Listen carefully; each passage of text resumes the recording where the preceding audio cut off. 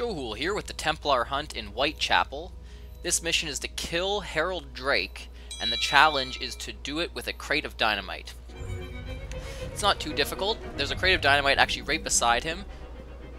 You'll see I go in here, take out a few guards. Uh, if you want to know what I did right beside him is I uh, activate the uh, dynamite crate by holding down B. It'll light a fuse. You've probably got about five seconds before it goes off and then I whistled so he'd come over to it, and then left the area.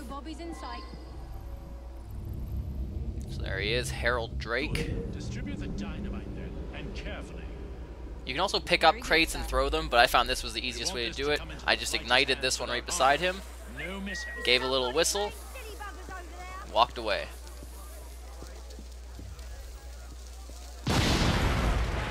There he is, dead by dynamite. Now all you have to do is escape the area, and there shouldn't be any enemies in this zone, so you can just run right to the end of the street. As soon as you're out of that red circle, you've completed it. Thanks for watching.